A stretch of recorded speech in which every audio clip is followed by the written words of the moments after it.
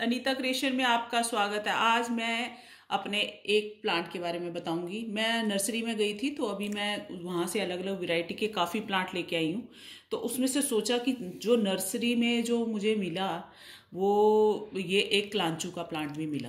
क्लांचू मतलब बहुत ही वैरायटी होती है क्लांचू के प्लांट में। ये फरवरी, मार्च, अप्रैल तक चलने वाला गर, सर्दियों का प्लांट है, लेकिन अभी इसमें फ्लारिंग नहीं होती, अभी धीरे धीरे ये ग्रो करने लगता है। ये विंटर प्लांट है एक, और ये सर्दियों में लगता है ये प्लांट गर्मियों में तो इसकी हालत बहुत ख़राब हो जाती है। ये देखिए मेरे पास ये एक ये, दूसरी वैरायटी का था मेरे पास ये तो इसकी हालत देखिए। अभी इसमें हरी पत्तियाँ ये आने लगी हैं। नहीं तो ये बिल्कुल सूख गया था।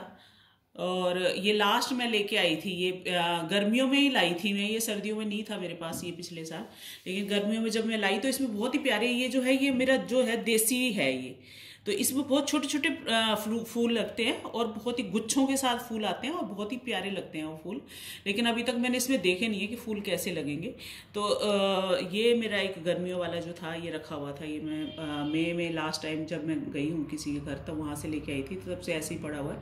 लेकिन अभी इसमें पत्तियाँ आने शुरू हो गई हैं। ये देखिए, ये हरी हरी जो छोटी छोटी पत्तियाँ निकल रही हैं तो ये आना शुरू हो गई हैं।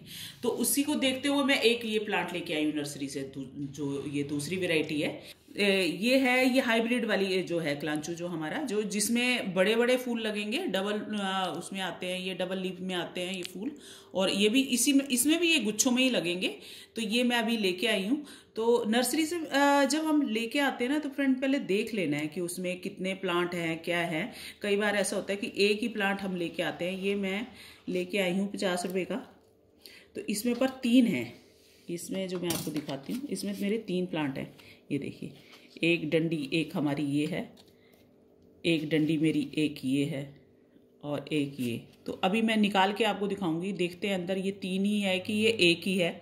और इसमें मैं दिखाऊँगी भी कि कैसी मिट्टी हमें चाहिए और जो नर्सरी वाले जो हैं, वो कैसी मिट्टी जो है इसमें है। अगर ये लाल मिट्टी अगर हुई तो ये पुणे वाले प्लांट हैं, जो बिल्कुल भी इसके लिए जो है, ये बिल्कुल भी जो मिट्टी है, वो इसके लिए अच्छी नहीं है। तो अच्छी जो अच्छी मिट्टी है, उसके बारे में भी हम बताएँगे कि कैसी मिट्टी हमें चाहिए। और ये फालतू के जो रेड रेड से निकल रही है, फालतू की तो ये मैं कटिंग कर दूँगी ये। और जो ऊपर से हम जो है पिचिंग कर देंगे ये टाइम जो है ये अभी दिसंबर का टाइम चल रहा है तो ये ऊपर से पिचिंग का टाइम है। ये जो ऊपर से हमने ये जो छोटे छोटी जो पत्तियाँ हैं इनको हम पिंच कर देना ताकि ये जो यहाँ से इन, आपको मैंने पहले भी किसी दूसरी उसमें प्लांट वाले में भी आपको मैंने बताया कि अगर ऊपर से हम इसको तोड़ देंगे तो हमारी जो नीचे से नई ब्रांच निकल आएगी और ऊपर ये लंबा पौधा नहीं बनेगा हमारा। तो ये हमने मैंने लगभग सारी काट ही दी है इसकी नहीं काटी है ये देखिए ये वाला जो है। तो इसकी भी मैं ये जो दो ऊपर से जो दो है तो ये मैं हाथ से तोड़ दे रही हूँ। तो ये इससे ये होगा कि ये साइड से निकलना शुरू हो जाएँगे यहाँ पे प्लांट और यहाँ पे जो है, यहाँ फूल निकलेगा फिर हमारा, जो आएँगे। लेकिन हमने ध्यान यही देना है कि पत्ता होना चाहिए। अगर इसके बाद फरवरी, जनवरी में इसमें जो है कलियाँ निकलना शुरू हो जाती हैं। तो आपने वो ध्यान देना है कि कलियाँ नहीं हमने तोड़नी है। कलियों को लगे रहने देना है। अगर छोटे छोटे पत्ते जो निकल रहे हैं और उनको तोड़ना है, हमने जैसे ये देखिए, ये इसमें बिल्कुल छोटा, छोटे से पत्ते निकल रहा है, देखिए। ये छोटा सा एक पत्ता है। ये तो इसको मैंने पिंच करना है। तो कलियों का आपको पहले ही दिख जाएगा कि कैसी कलियाँ कलियों में छोटे छोटे से फूल से, हल्के से थोड़ा पिंकिश जो कलर के भी आपके फूल होंगे, वो थोड़ा सा हल्का सा उसमें कलर आएगा तो वो दिख जाएगा कि कलियाँ कौन सी हैं। तो ये फ्रेंड चलिए इस पौधे को हम लगा लेते हैं। ये हमारा एक सेकुलेंट प्लांट है फ्रेंड इसके बारे में मैं ये बता दूँ तो पहले थोड़ी जानकारी बता देती हूँ। ये हमारा सेकुलेंट प्लांट है तो इसमें पानी की बिल्कुल भी ज़रूरत नहीं है। पानी हमने तभी देना बिल्कुल हमने एक तो वेल ड्रेन मिट्टी इसकी रखनी है। सेकुलेंट प्लांट को आपको पता ही होगा कि ये देखिए पत्ती इसकी टूटी है तो इसके अंदर जो है इसके अंदर पानी है। ये देखिए। तो जो भी ऐसा प्लांट होगा उसमें पानी की ज़रूरत ज़्यादा नहीं होती है क्योंकि ज़्यादा अगर ज़रूरत होगी तो ये फंगी फंगस इसमें लग जाएगी और आपका प्लांट खराब हो जाएगा। तो सबसे पहले ये मेरे जैसे ये लगा हुआ है ये देखिए इसमें हरी पत्तियाँ निकल रही हैं लेकिन पानी दे, मिट्टी देखिए इसकी कितनी ड्राई है। ये बिल्कुल सूखी हुई मिट्टी है इसमें। अभी मैं दूँगी इसमें पानी। पानी कम चल जाएगा इसमें, अगर पानी आप नहीं भी दे रहे हैं, लेकिन ज़्यादा पानी इसमें बिल्कुल नहीं चलेगा। तो जैसे अभी ये सूखा हुआ है ये तो इसमें मैं पानी दे दूँगी, लेकिन फिर जब तक पूरी मिट्टी हमारी पूरी ड्राई नहीं हो जाएगी, तब तक हमने इसमें पानी नहीं देना है।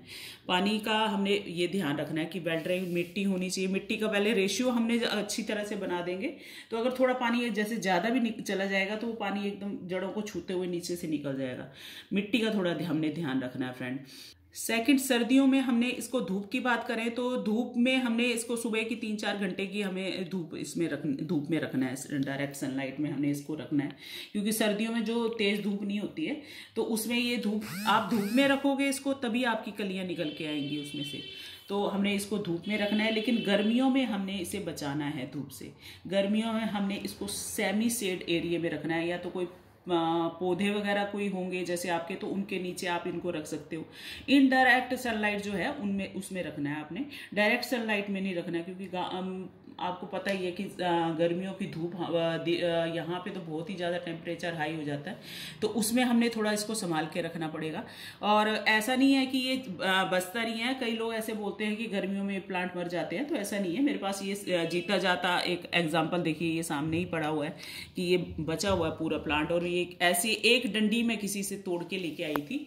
तो ऐसा नहीं है कि नहीं बसते हैं, लेकिन वही है कि हमने थोड़ा ध्यान रखना है कि पेड़ के नीचे हमने इसको रखना है, किसी पौधे वादे के नीचे। और पानी का छिड़काव नहीं करना है। कई बार ऐसे बोलते हैं कि उसको गर्मियों में पानी ऊपर से छिड़क दो तो ये देखिए मेरे पत्ते कितने गंदे हैं इसमें। ये मैं नर्सरी से जो पौधा लेके आई हूँ तो इसके पत्ते में डस्ट देखिए कितने है। तो ये मैं हाथ से साफ़ करूँगी इनको। जो इनकी डस्ट है। इसमें मैं पानी का छिड़काव नहीं करूँगी। अगर पानी का मैं छिड़काव करती हूँ तो कई जगह से जैसे पत्तियाँ हमारी टूट जाती हैं और उसमें पानी अगर चला जाता है तो हमें, हमारे प्लांट खराब हो सकते हैं, उसमें फंगस लग सकती है। तो इसमें फंगस बहुत जल्दी लगती है फ्रेंड। तो इसमें हमने पानी ऊपर से छिड़काव नहीं करना है। पानी जो देना है, हमने नीचे से ही देना है। अगर आपने अपनी पत्तियों को साफ़ भी रखना है तो ये हल्के हाथों से या कोई गिल्ला कपड़े से उसके उससे आप साफ़ कर सकते हैं। तो उस उस तरीके से। अगर आ, मैंने तो आते ही इसमें पानी भी छिड़का था ऐसा नहीं है। लेकिन अगर आप बिगनर हैं और अभी आपने लगाना शुरू करा है तो प्लीज़ फ्रेंड आप पानी ऊपर से बिल्कुल मत छिड़किएगा। और नीचे से जो भी आपने पानी देना है नीचे से देना है। और जो आ, पानी है ऐसे देना है कि पानी ऊपर से डालें तो वो नीचे से आराम से निकल जाए। इतनी वेल वेल ड्रेनेज की मिट्टी होनी चाहिए। हमने इसमें दस या दस बारह दिन में एक बार हमने इसमें खाद देनी है। खाद का भी मैं आपको बताऊँगी कि क्या क्या दे सकते हैं। खाद के लिए मैंने एक देखिए फर्टिलाइज़र मैंने बना के भी रखा हुआ है। आप घर पे अगर देना चाहते हैं तो घर पे आप कोई घर की ही चीज़ों से बना हुआ फर्टिलाइज़र डाल सकते हैं आप इसमें। स्टार्टिंग में तो मैं इसमें आपको बताऊँगी कि बोन बिल वगैरह क्या है, क्या मिट्टी में डला हुआ है तो वो डल जाएगा हमारा। उसके बाद हमने पंद्रह बीस दिन बाद जब हमने डालना है तो हम घर पे ही बना हुआ हमें फर्टिलाइज़र मैं तो घर पे ही बना हुआ अपना फर्टिलाइज़र डालती हूँ। लेकिन अगर आप आप बाहर वाला अगर यूज़ करते हैं तो उसमें नाइनटीन नाइनटीन वाला या ट्वेंटी ट्वेंटी ट्वेंटी वाला आपने फर्टिलाइज़र इसमें देना है। तो वो उसके, इसके लिए काफ़ी अच्छा है फर्टिलाइज़र उसके एक चम्मच आप पानी में पाँच लीटर पानी में भिगो के रखें और सुबह फिर उसका जो है नीचे इसमें पानी में पौधों में डाल सकते हैं आप इसमें। इसी के साथ इसमें आप नीम खली दे सकते हैं। सर्दियों में हमने पाँच छः घंटे की धूप, हमने तेज़ धूप में हम रखना है हमने इसको। और इसका जो फ्लारिंग जो है हमारा जैन से शुरू हो जाता है, जनवरी से शुरू होकर मार्च, अप्रैल तक जाता है इसका फ्लारिंग और बहुत ही अच्छे गुच्छों में इसमें फूल आते हैं और बहुत ही प्यारे हमारे अलग अलग कलर के जो है फूल इसमें लगते हैं, जैसे पिंक, पीच, कलर अलग अलग कलरों के, रेड कलर के वाइट कलर के, सारे कलर में इसमें आता है। बहुत ही वेराइटी कम से कम ये 200 सौ 200 वेराइटी के प्लांट ये हैं। और इसमें ये जो है, ये हाइब्रिड है जो मैं ये आपकी बार जो लेके आई हूँ और ये जो है, ये नॉर्मल है हमारा जो है। तो इसमें छोटे छोटे जो हाइब्रिड वाले में थोड़ा बड़े बड़े फूल थोड़े से बड़े आएँगे और जो ये जो नॉर्मल वेराइटी है, इसमें थोड़े छोटे छोटे आते हैं लेकिन ये भी गुच्छों में ही आते हैं और ये जो फूल हमारे लगते हैं तो ये एक एक महीना तक चले रहते हैं। ये ऐसा नहीं है कि एक दिन में खिलने वाले फूल हैं कि एक दिन में खत्म हो जाएँगे। तो ये जब आते हैं फूल तो बहुत ही टाइम तक एक एक महीना डेढ़ डेढ़ महीने तक वो फूल हमारे जो ग्रो करके रहते हैं उसमें। तो चलिए फ्रेंड इसकी ज़्यादा देर ना करते हुए इसकी मिट्टी को देख लेते हैं हम कि कैसी इसकी मिट्टी है और हमने इसके लिए कैसा पोट हमने लेना है। तो वो देख लेते हैं अभी। फ्रेंड्स ये मैंने मिट्टी ले ली है। तो ये मैंने पहले ही रेशियो जो है मैंने बना के रखती हूँ, पहले गमलों में जैसे डालनी हो तो मैंने पहले ही डाल के रखती हूँ उसमें। तो इसमें मैंने एक हिस्सा जो है मैंने रेत का लिया है, जो रिवर सैंड होती है, एक हिस्सा मैंने मिट्टी का लिया है और एक हिस्सा मैंने इसमें कंपोस्ट का लिया है। ये तीन चीज़ें ली हैं मैंने। अगर आप कोकोपीट डालना चाहते हैं तो आप वो भी डाल सकते हैं। इसमें मैंने नीम खली डाली है, दो मुट्ठी, और दो मुट्ठी मैंने इसमें बोन मिल डाला है फ्रेंड तो ये सब चीज़ें हैं और एक जो है बड़ा चम्मच मैंने इसमें हल्दी भी डाली थी, लेकिन हल्दी मैं और डालूँगी। तो एक बड़ा चम्मच जो है मैं इसमें हल्दी भी डाल दूँगी। हल्दी मैंने पहले भी डाली है इसमें जब मैंने मिट्टी बना के रखी थी ये, लेकिन मैं दोबारा इसमें हल्दी डाल रही हूँ ताकि ये फंगस इसमें ना लगे। ये काफ़ी दिनों से मेरी ये जो मिट्टी जो है तो ये मैं इसको पहले मिक्स कर लेती हूँ पूरी मिट्टी को, हल्दी में इसमें।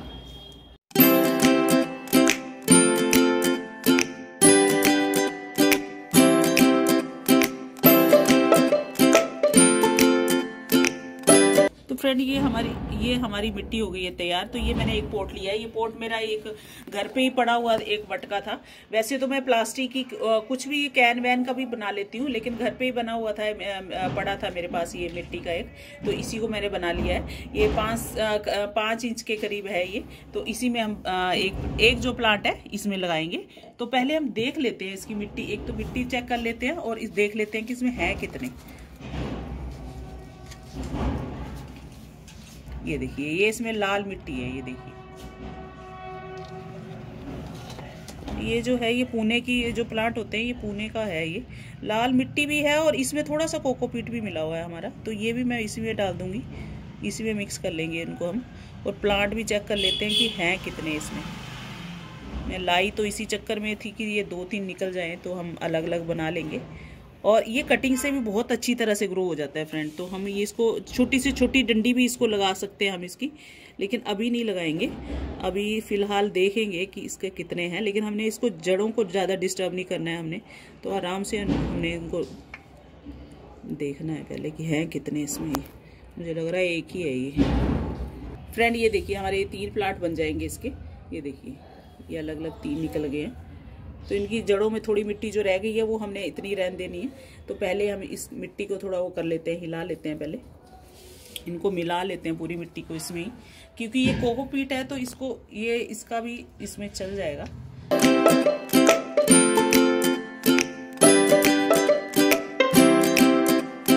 तो फ्रेंड, ये हमारी मिट्टी हो गई है रेडी तो इसमें पहले हम डाल लेते हैं। तो इसमें डालने से पहले मैं ये जो, ये मैंने एक दिया लिया है। तो ये दिए को हम इसमें ऐसे उल्टा करके मैंने दिए को रख दिया है ताकि इसमें जो पानी जो है आराम से निकल सके साइड से भी। तो ये मैंने उल्टा करके डाल दिया और इसको हम अब इसमें मिट्टी डाल देती हूँ पहले थोड़ी सी। ये देखिए थोड़ी मिट्टी मैंने डाल दी है इसमें और उसके बाद मैंने इसको रख देना है। हमने सेंटर में लगाना है इसको। साइड से इसमें मिट्टी डाल देनी है हमने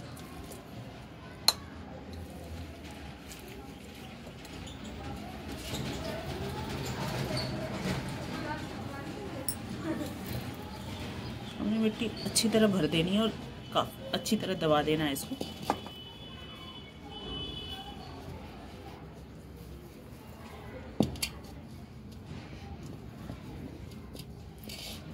इस टाइम ट्रेंड सबसे ठीक रहता है ये। ये मौसम थोड़ा ज़्यादा ठंड भी नहीं है और ज़्यादा अभी ठंड अच्छी है इसमें, इस वक्त। और धूप में अगर हम इसको रखेंगे तो हमारी काफ़ी अच्छी फ्लारिंग करने वाला है ये प्लांट तो चलिए दूसरे को भी मैं लगा के आपको दिखा देती हूँ, एक प्लांट रहा है तो ये इसी में लगा देती हूँ मैं। तो ये भी हमारे करीब पाँच इंच के करीब है, ये हमारा जो है। तो इसमें भी मैं एक प्लांट जो है इसमें लगा दूँगी। तो इसके लिए पहले हम इसमें जो है कंकड़ जो छोटी छोटी जो ठिकरियाँ सी निकली हैं, ये पत्ता नहीं डालेंगे इसमें। वो पहले हम कर देंगे, इसमें लगा देंगे, ताकि ये बंद हो जाए, इसके छेद जो है। छेद इसमें काफ़ी हैं। तो मैं पहले पत्थर ही डालूँगी इसमें। पत्थर मतलब ये वेल ड्रेन ठीक रहती है, जैसे इसमें काफ़ी अच्छे छेद इसमें दे रखे तो ये अच्छी है कि मतलब जैसे पानी हमें छू के निकल जाएगा, जड़ों को छू के तो मिट्टी इसमें डाल देते हैं।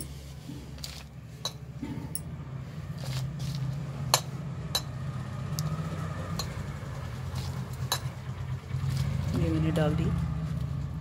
इसमें एक प्लांट इसमें लगा देते हैं। तो इसको हमें इस तरह से इसमें रख देना है। और जो ये मिट्टी है, ये इसमें डाल देंगे। मिट्टी का मैंने आपको बता ही दिया है कि हमने क्या किया। इसमें जो रेत का बहुत इम्पोर्टेंट पार्ट है फ्रेंड इसमें रेत ज़रूर डालनी है हमने। जो रिवर सैंड होती है, वो ज़रूर डालनी है फ्रेंड ताकि उससे हमारा जो है, अंदर मॉइस्चर जो है रुके ना हमारे जो पानी है थोड़ा और कोकोपीट इसलिए डालते हैं ताकि मॉइस्चर थोड़ा होल्ड हो, रहे इसमें। इससे ये होगा कि हम अगर ज़्यादा पानी भी अगर दे देते हैं अपने पौधे को तो वो रुकेगा नहीं वो निकल जाएगा। तो वैसे तो हमने यही सबसे पहले यही ट्राई करना है कि पानी हमने तभी देना है जब हमारी मिट्टी बिल्कुल ऊपर से सूख जाए। तो जैसे हमारा ये है।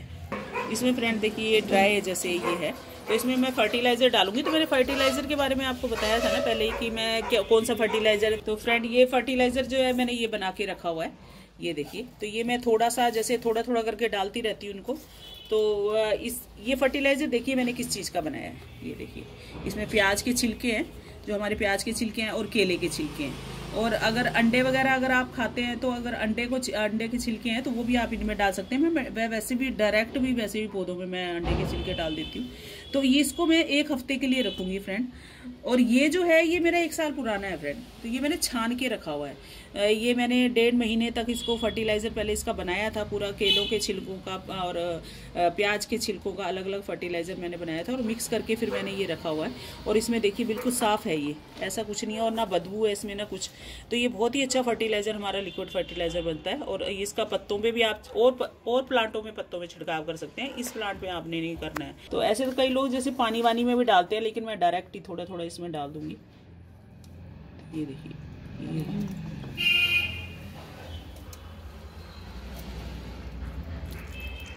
मैंने जगह इसमें इसीलिए कम छोड़ी है ताकि पानी इसमें ज़्यादा जाए ना। और मिट्टी हमारी ऊपर तक इसलिए है कि अभी थोड़ी बैठेगी भी मिट्टी तो ये ये ये फर्टिलाइज़र मैंने साथ में डाल दिया। तो ये हमने 15-20 दिन में एक बार डालना है। तब फ्लारिंग का टाइम होता है, तब हमें ये डालना चाहिए। या आप गुडल वगैरह के पौधों में भी आप डाल सकते हो, जिसमें फूल का, गुलाब के पौधों में आप इनको डाल सकते हो इस पानी को।